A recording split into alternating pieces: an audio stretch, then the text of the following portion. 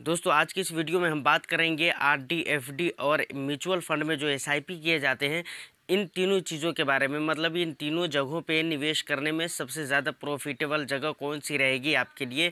कहाँ पर निवेश करना ज़्यादा बेहतर हो सकता है आपके लिए? एफडी की बात इस वीडियो में ज़्यादा हम नहीं करेंगे, क्योंकि वो भी मैं आपको आगे बता दूँगा कि क्यों मैं इस वीडियो में एफ़ की बात ज़्यादातर नहीं करने वाला हूँ। मेन हम बात करने वाले हैं आरडी और म्यूचुअल फंड की एसआईपी के बारे में, कि इन दोनों जगहों में से, और थोड़ी सी बात हम एफडी के बारे में करेंगे, कि मतलब सबसे बेटर जगह कौन सी रहेगी। तो चलिए, वीडियो को शुरू करते हैं, लेकिन उससे पहले एक छोटा सा रिक्वेस्ट दोस्तों चैनल पे फ़र्स्ट टाइम विज़िट कर रहे हैं या सब्सक्राइब नहीं किया है तो चैनल को सब्सक्राइब कर लीजिए इसी तरह की इंटरेस्टिंग वीडियो देखने के लिए। अब हम आरडी की बात करते हैं। सबसे पहले आरडी अकाउंट में क्या होता है दोस्तों? कि वहाँ पर आपको थोड़े थोड़े अमाउंट जो है ना हर महीने में मतलब एक फ़िक्स टाइम पे फिक्स डेट में आपको एक फ़िक्स अमाउंट चार सौ रुपये, पाँच सौ रुपये, दो सौ रुपये का हो, वो आपको बैंक को देना पड़ता है। मतलब आपको जमा करने के लिए बहुत सारे लोग आते हैं। जैसे हम लोगों के पास मैं अपनी बात करता हूँ तो मेरे पास पोस्ट ऑफ़िस में आरडी अकाउंट है। अब वो एजेंट क्या करता है? हर रोज़ हम लोगों से ले जाता है दो दो सौ रुपये और वो जमा कब करता है? महीने के लास्ट में वो जमा कर देता है। तो अब इसमें इंटरेस्ट रेट की अगर हम बात करें, वहाँ पर दस परसेंट, ग्यारह परसेंट इस तरीके से ब्याज दर की बात की गई है। अब मिलता कितना है, वो भी तीन सालों के लिए। जब हमने तीन सालों के लिए आर में हम हर महीने इस तरह निवेश कर रहे हैं थोड़े थोड़े अमाउंट करके तो हमें तीन साल के बाद जो रिटर्न मिलने वाला है, वो दस परसेंट, ग्यारह बारह परसेंट, ऐसा कुछ परसेंटेज में हमें ब्याज मिलने वाला है। दोस्तों, यहाँ पर क्या होता है कि आप अपने अमाउंट को टाइम पीरियड कंप्लीट करने से पहले नहीं निकाल सकते हैं चाहे इमरजेंसी के टाइम में भी हो, मान कर चलिए आरडी अकाउंट आपका तीन साल के लिए है, पाँच साल के लिए है तो एक टाइम पीरियड फिक्स है कि तीन साल आपको जमा करना ही है पैसे। अगर आप बीच में किसी महीने में अगर पैसे नहीं हैं और आप जमा नहीं करते हैं तो उस पर आपको फ़ाइन भी देना पड़ता है। और दूसरी बात, अगर बीच में आपको पैसे की ज़रूरत हो जाती है कभी कभी तो आप अपने पैसे को नहीं निकाल सकते हैं। अपने पैसे को आप विद्रॉल करने के लिए आपके पास पूरा समय, पूरा टाइम पीरियड कंप्लीट करना पड़ेगा। मतलब क्या है कि तीन साल के लिए अगर आपने आरडी किया है तो तीन साल कंप्लीट होने चाहिए, उसके बाद ही आप निकाल सकते हैं पैसे को। हाँ ये होता है बहुत सारे बैंक में कि एक साल के बाद उसमें से आपको फिफ्टी परसेंट का लोन देने लगता है।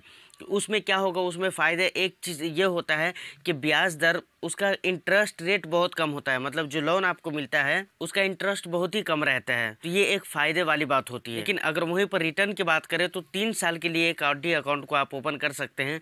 तो अब बताइए, तीन साल, दो साल इतना दिन का टाइम पीरियड होता है, लेकिन रिटर्न सिर्फ़ और सिर्फ़ आपको आठ परसेंट, दस परसेंट, ग्यारह, बारह परसेंट इस तरीके से मिलते हैं। ग्यारह, बारह तो बहुत ज़्यादा हो गया, आठ परसेंट, दस परसेंट इस तरीके से रिटर्न मिलते हैं। तो ये सारे एडवांटेज एंड डिसएडवांटेज है आरडी अकाउंट के।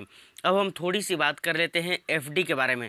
देखिए एफडी के बारे में मैंने आपको कहा था कि हम ज़्यादा बात नहीं करने वाले हैं, क्योंकि एफडी में एक फ़िक्स्ड अमाउंट आपको क्या करता है? फ़िक्स्ड पीरियड के लिए आपको बैंक को जमा कर देना होता है। मान कर चलिए, आप पचास हज़ार रुपये आपने आईसीआईसीआई बैंक में जमा करवा दिया पाँच सालों के लिए। तो एक फ़िक्स्ड अमाउंट है वो। और फिक्स्ड टाइम पीरियड के लिए है मतलब चार साल के लिए, पाँच साल के लिए। और उस पर इंटरेस्ट अगर मिलता है आपको तो सात परसेंट, आठ परसेंट, दस परसेंट मतलब बैंक वाइज अलग अलग तरीके से इंटरेस्ट मिलता है। हर बैंक में हर तरीके से इंटरेस्ट इसका दिया जाता है। जैसे इंडस्ट्रीड बैंक का भी मैंने हाल फ़िलहाल में कुछ दिन पहले मालूम किया था। तो मतलब क्या है कि उसमें नौ परसेंट था। लेकिन एक बात हमेशा याद रखें कि जिस भी बैंक में एफडी में अगर ज़्यादा इंटरेस्ट आपको दे रहा है तो उसके साथ बहुत सारी शर्तें होती है। लेकिन एक चीज़ है कि एफडी आप बाय द वे अगर कोई प्रॉब्लम होता है, इमरजेंसी के टाइम में आप एफडी को चाहे तो तोड़ सकते हैं, ऐसा कुछ नहीं है। अब इंटरेस्ट रेट की बात करें तो वो एक अलग बात है कि उसका इंटरेस्ट कम हो जाता है या फिर आ, कुछ आपको मतलब चार्ज अलग से पे करने पड़ते हैं ये एक अलग बात है। दोस्तों एफडी के बारे में इतनी बात हो गई मैं समझता हूँ काफ़ी है क्योंकि हम इसकी बात ज़्यादा करने वाले नहीं हैं क्योंकि यहाँ पर फिक्स डिपॉजिट वाली बात है फिक्स्ड अमाउंट वाली बात है जो बहुत सारे लोगों के पास नहीं होता है। हम एसआईपी की बात इसलिए कर रहे हैं कि थोड़े थोड़े पैसे करके आपको जमा करना रहता है और ठीक आरडी में भी थोड़े थोड़े करके जमा रहता है। तो हमें मेन चीज़ देखना यह है कि हम थोड़े थोड़े अमाउंट आरडी में भी जमा करते हैं और एसआईपी में भी जमा करते हैं। तो प्रॉफिटेबल जगह कौन सी है? अब हम बात करते हैं एसआईपी की। देखिए एसआईपी होती है systematic investment plan mutual fund में आप दो तरीके से इन्वेस्ट कर सकते हैं। पहला होता है लमसम अमाउंट और दूसरा होता है एसआईपी तो देखिए एसआईपी की हम बात करने वाले हैं। एसआईपी क्या होता है? हर महीने की एक फिक्स तारीख को, जैसे पंद्रह तारीख को हर महीने आप पाँच सौ रुपये की जो है ना एस आई पी कर रखी है। इसी कंपनी के आप एस आई पी ले रखे हैं। अब हर महीने पाँच सौ रुपये आपके अकाउंट से कट जाता है। मान कर चलिए, इतना तो आपको मान कर ही चलना चाहिए कि आप चाहे जितने भी बुरी कंपनी में चाहे जितनी भी ख़राब कंपनी हो, आपको अगर ना भी रिटर्न मिलेगा म्यूचुअल फंड में तो मैं कहता हूँ बारह से चौदह परसेंट का रिटर्न तो हर हाल में मिल जाएगा।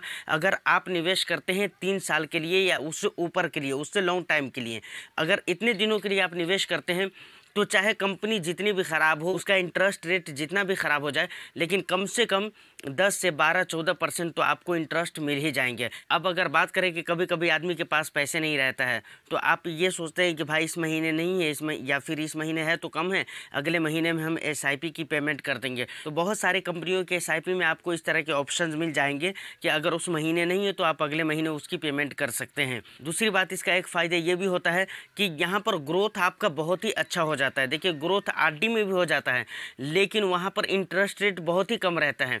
दूसरी बात कि आरडी अकाउंट में से आप बीच में पैसे नहीं निकाल सकते टाइम पीरियड से पहले, लेकिन एसआईपी में जब आप चाहें तब आप अपनी एसआईपी को कैंसिल कर सकते हैं।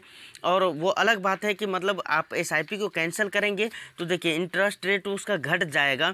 और कभी कभी किसी किसी एस में ऐसा भी रहता है कि एग्ज़िट लोड अलग से आपको पे करना पड़ता है। मतलब अगर टाइम पीरियड से पहले अपनी एसआईपी को आप कैंसिल, विदड्रॉ करते हैं तो आपको एग्ज़िट लोड पे करना पड़ता है, जो कि एक अलग चार्ज होता है। तो ये एक अलग सी बात है, लेकिन इमरजेंसी के टाइम में आप निकालना चाहें तो निकाल सकते हैं।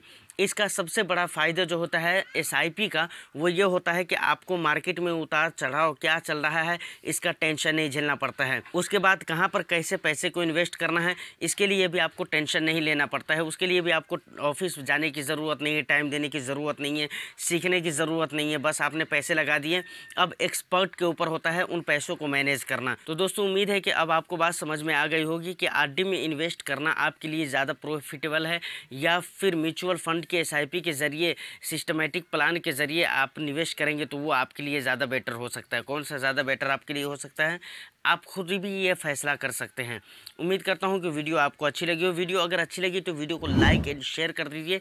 चैनल को सब्सक्राइब कर लीजिए। फिर मिलते हैं किसी नेक्स्ट वीडियो में। जब तक के लिए all the best thank you thank you for watching